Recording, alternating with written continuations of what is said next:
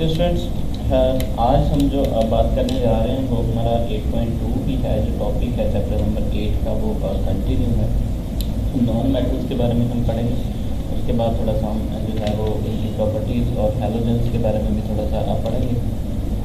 तो चलिए स्टार्ट करते हैं सबसे पहले non metals non metal form negative ions which are known as anions by gaining electrons In this way, uh, non-metals are electronegative in nature and form acidic oxides. The valency of some non-metals depends upon the number of electrons accepted by them.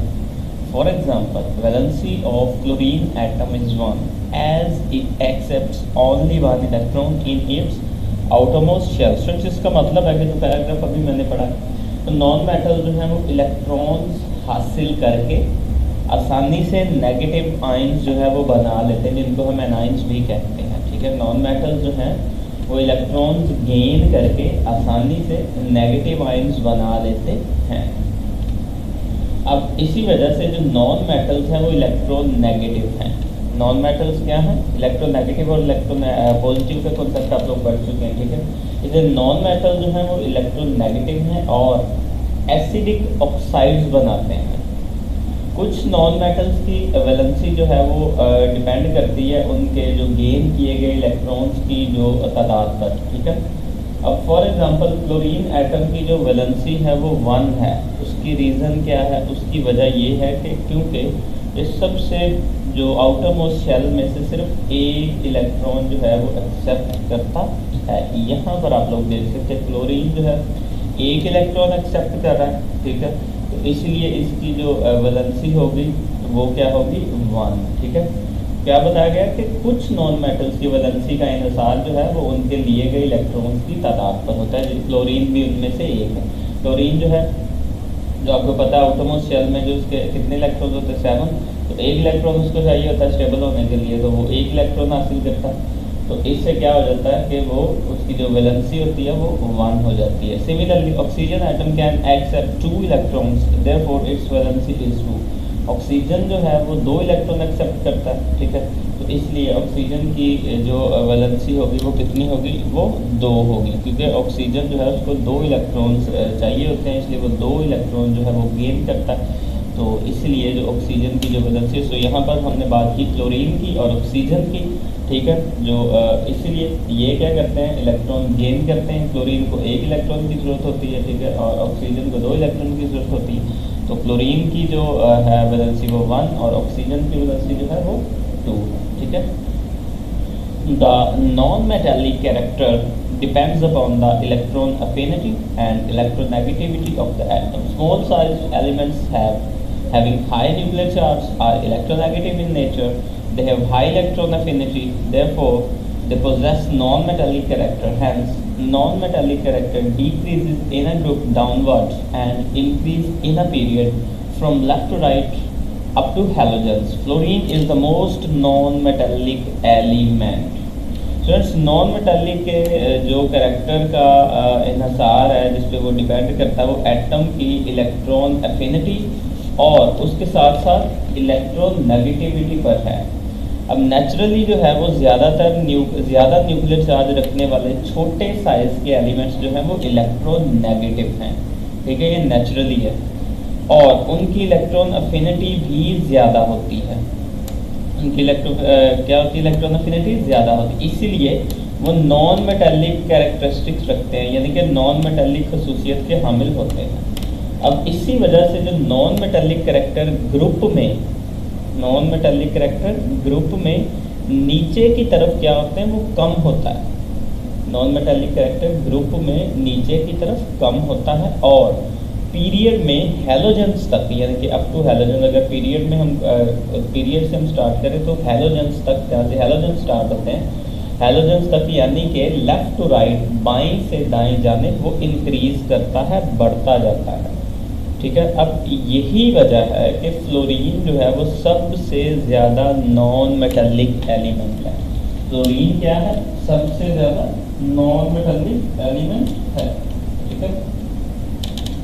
Next हमारे पास the non metals are there for elements in group 14 carbon group 15 nitrogen and phosphorus group 16 oxygen sulphur and selenium and in group seventeen halogens. Group 17 we have a halogens group hai, uh, which are इसके कौन कौन से हैं? Fluorine fluorine bromine and iodine of the periodic table ठीक है?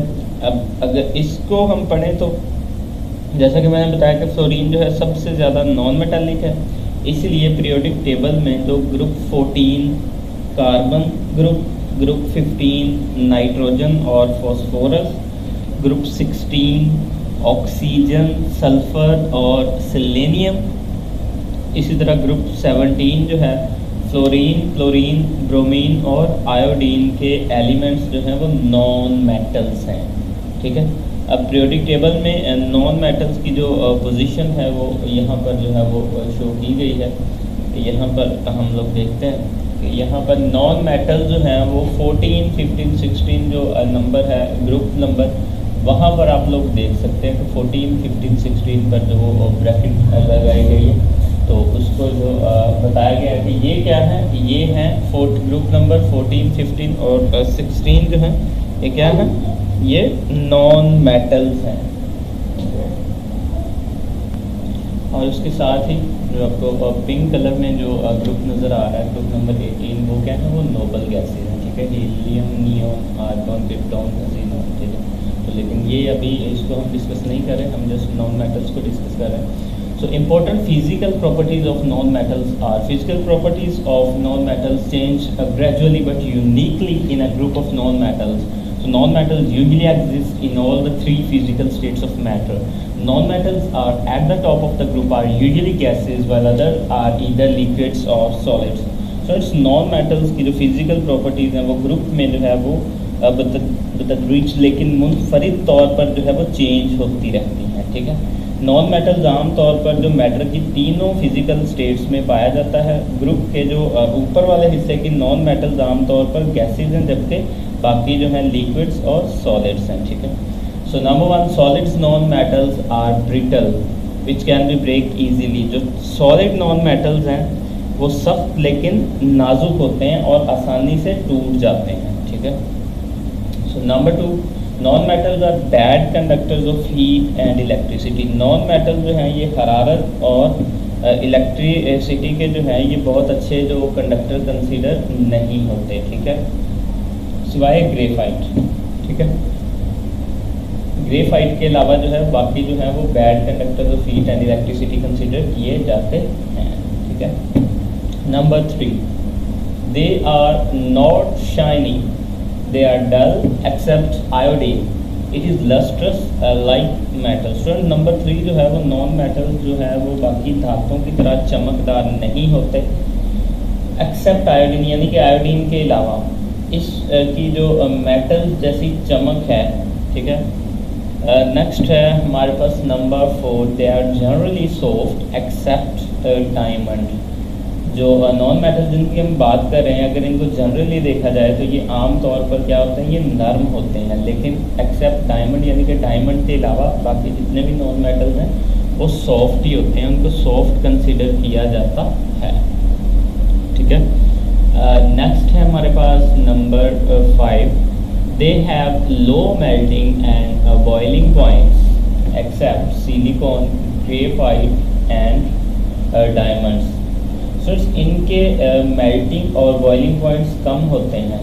इनकी हम बात करें नॉन मेटल्स की बात कर ठीक है? इनके जो मेल्टिंग uh, और बॉइलिंग पॉइंट्स जो होते हैं वो बहुत कम होते हैं except silicon graphite and diamond जो तीन है हमारे पास, कौन कौन से?